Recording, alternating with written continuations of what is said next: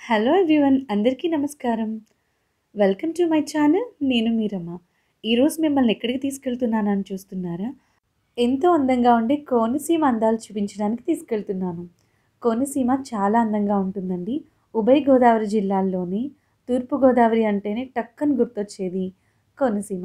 ఈ కోనసీమ అందాలను మీకు చూపించాలనుకుంటున్నాను. ఎర్లీ మార్నింగే స్టార్ట్ అయ్యాము. పొగమంచులో సూర్యోదయాన్ని చూస్తుంటే చాలా బాగుంటుందండి. మిత్రులందరికీ కోనసీమకు స్వాగతం. ఇది కోనసీమ ముఖద్వారము ఎంట్రన్స్ అండి కోనసీమకి.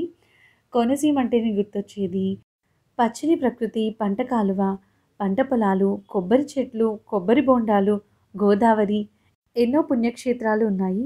పచ్చని పొలాలతో చుట్టూరు మనకి కొబ్బరి చెట్లు ఉంటాయండి. చూడ్డానికి చాలా ఆహ్లాదంగా అనిపిస్తుంది. ముందుగా మేము మామిడికుతురు మండలంలో ఉన్న అప్పనపల్లి శ్రీ బాలబాలాజీ దేవస్థానానికి వెళ్ళాము.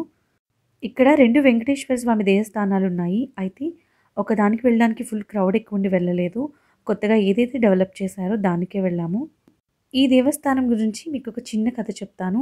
పూర్వం ఉన్న దేవస్థానంకు కళ్యాణ వెంకటేశ్వరుడు అని పిలిచేవారు. ఈ దేవస్థానం నిర్మాత మొల్లేటి రామస్వామి ఒక కొబ్బరి వర్తకుడు ఆయన కీర్తిశేషులు శ్రీమతి వాయువేగుల శ్రీతమ్మ గారి ఇంట్లో కొబ్బరి వర్తకం చేసేవారంట. ఒకనాడు కొబ్బరి రాసిలో ఒక కొబ్బరికాయలో వెంకటేశ్వర స్వామి తిరునామాలు చూశారంట. ఆ నామాలు చూసి ఆ కొబ్బరికాయను ప్రతిష్ఠించి శ్రీ వెంకటేశ్వర స్వామిగా ఆరాధించి సాగారు. దినదినంగా ప్రవర్ధానమై పెద్ద పవిత్ర క్షేత్రమైంది. ఈ దేవస్థానానికి ధ్వజస్తంభం గురించి అయితే ఒక విశేషమైన కథ ఉందండి.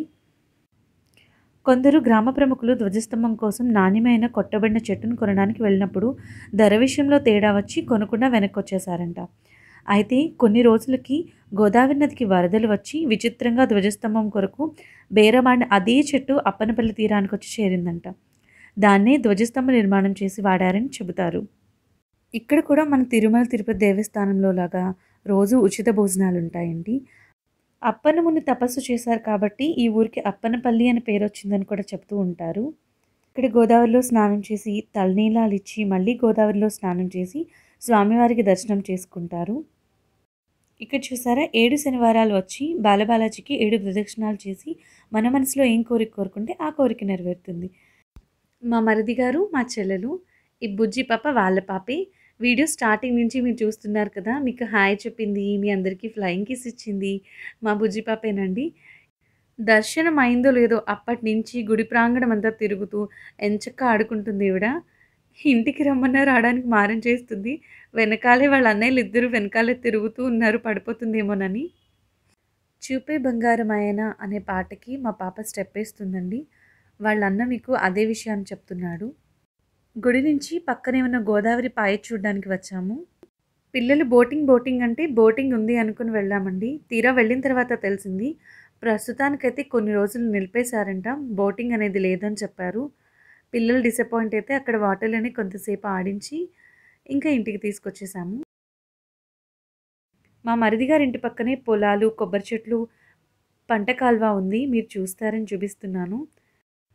కోనసీమలో మనకి ఎక్కడ చూసినా ఎక్కువగా కనిపించేది కొబ్బరి తోటలే ఉంటాయండి. కొబ్బరి తోటలు మామిడి తోటలు పంట పొలాలు మనకి ఎక్కువగా కనిపిస్తూ ఉంటాయి. పచ్చని పొలాలు కళ్ళకి ఎంత బాగుందండి అసలు. చిన్నతనంలో ఎప్పుడైనా కళ్ళ నొప్పులు అని అంటే టీచర్లు కానీ ఇంట్లో అమ్మ వాళ్ళు కానీ బయటికి వెళ్ళి పచ్చగా ఉన్న ఆకుల్ని చెట్లని చూడండి అమ్మా నొప్పులు తగ్గిపోతాయి అనేవాళ్ళు. ఇక్కడి నుంచి పక్కనే ఉన్న ఆయనవిల్లి వినాయకుడి గుడికి వెళ్ళాము. శ్రీ విఘ్నేశ్వర స్వామి దేవస్థానం అయినవిల్లి స్వామివారు దక్షిణముఖంగా మనకి దర్శనమిస్తారు. సాధారణంగా ప్రతి దేవాలయాలు తూర్పుముఖంగా ఉంటాయి కదండి. కానీ అయినవిల్లి సిద్ధి వినాయకుడి గుడి మాత్రం దక్షిణముఖంగా ఉంటుంది. అంతేకాక ఈ గ్రామంలో దక్షిణ సింహద్వారంతో నిర్మించిన గృహాలకు ఎటువంటి విఘ్నాలు కలగవని గృహాలు సమృద్ధికరంగా ఉంటాయని స్థానికుల ప్రగాఢ విశ్వాసం. శ్రీ వరసిద్ధి వినాయకుడు స్వయంగా వెలిసిన క్షేత్రం ఇది. ఈ స్వామివారిని పెన్నులతో పూజించి అదే పెన్నుతో పరీక్ష రాస్తే విద్యార్థులకు మార్కులు బాగా వస్తాయని నమ్ముతారు.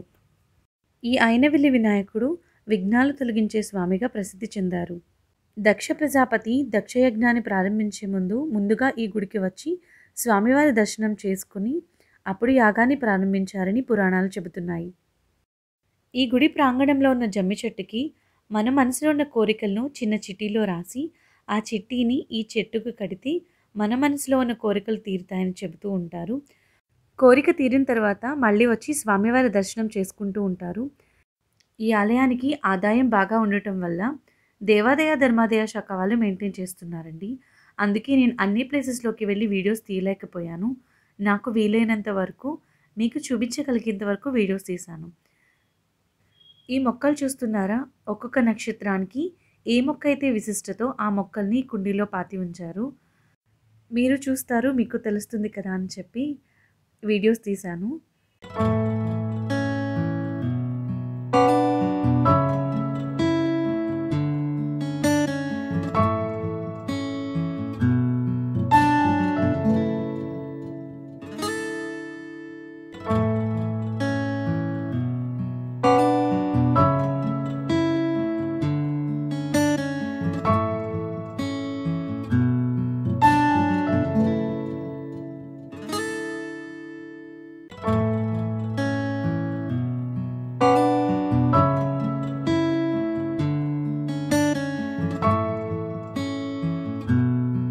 దర్శనం అయిపోయిన తర్వాత బయటకు వస్తే పక్కనే ఒక షాప్ ఉంది.